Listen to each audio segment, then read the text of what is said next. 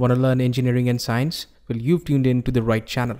Hit subscribe and press the bell icon and never miss an update from us. Hi there guys, this is your friend and tutor Manas. And today in this session of engineering mechanics, we're going to talk about shear forces and bending moments. And we'll see how these two parameters help in designing a beam. But hey, what's a beam? Well, we're going to discuss that a bit later, but for now, let's kick off by understanding what shear force means. So guys, in order to clearly understand the concept of shear forces, we first need to know what exactly do we mean by a normal force. Now if you watch carefully, here we have an object which has sort of a square cross section. Okay, now if we can have the axis, yeah, here it is. I'm going to be applying axial forces at both the ends. This is the starting end and this is the rear end. Okay? Now let me have the axial forces. Now basically the axial force is such that it acts along the axis. That's it. Now if you watch carefully if i can make an axis over here something like this. If you watch carefully this axial force is making a 90 degree angle. All right? With the vertical axis of the cross section and also a 90 degree angle with the horizontal axis also. That's why since it is making a 90 degree angle and hence this name normal force. So whenever you're dealing with normal forces you'll always see that the force is going to make a 90 degree angle at the cross section or with the cross section. Okay so that was all about normal forces. Okay now what sort of a normal force is this?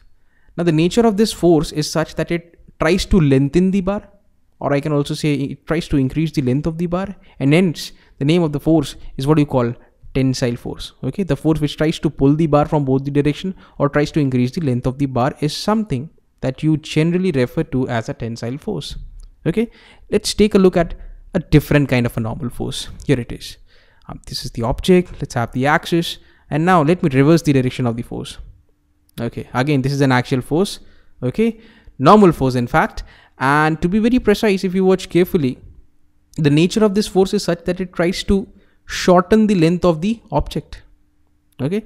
Or you can also say it tries to compress the object. And therefore this sort of a force is something that we refer to as the compressive force. Now let's take a look at what shear force means. Okay here we go.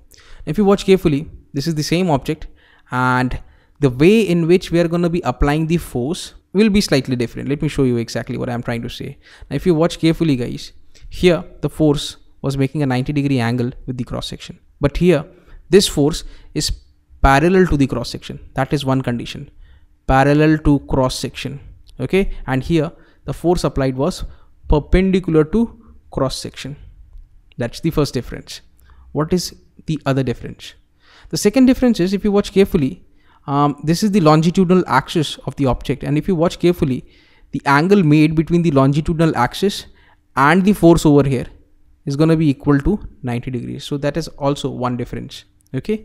That means the force that we are going to apply in case of a shear force it's going to be equal to 90 degrees with respect to the longitudinal axis. Now one force is along the negative x direction you can say negative x while the other force i'm going to be applying over here in the positive x direction. Now if we just assume that the object cannot rotate what will happen? Okay? What will happen? Just think about this. This is exactly what could happen. Yeah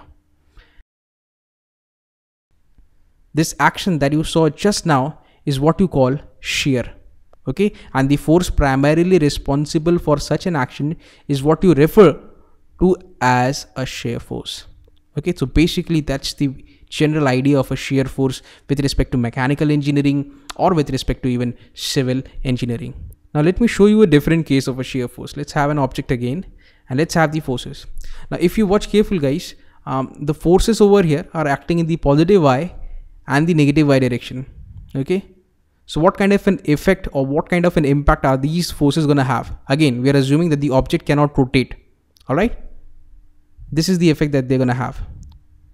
This is the shearing action that takes place and the force primarily responsible for the shearing action is what you call a shear force. That's it.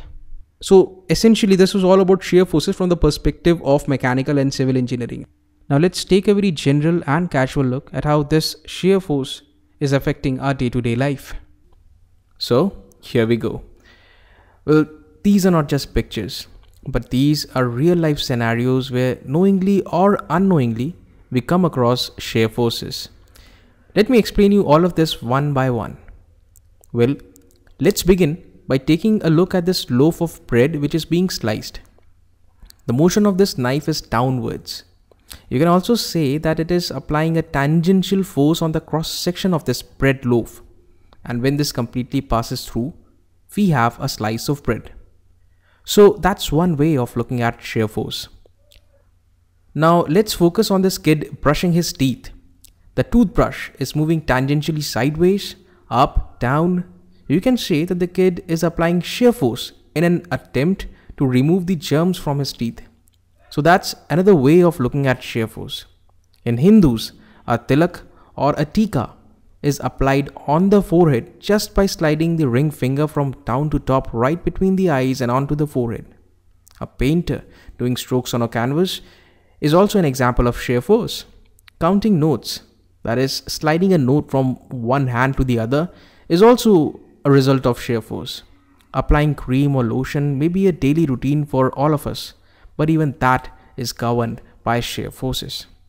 And finally, a device that this generation is absolutely obsessed with a smartphone. Even here, sliding is all because of shear force applied by the finger and onto the screen.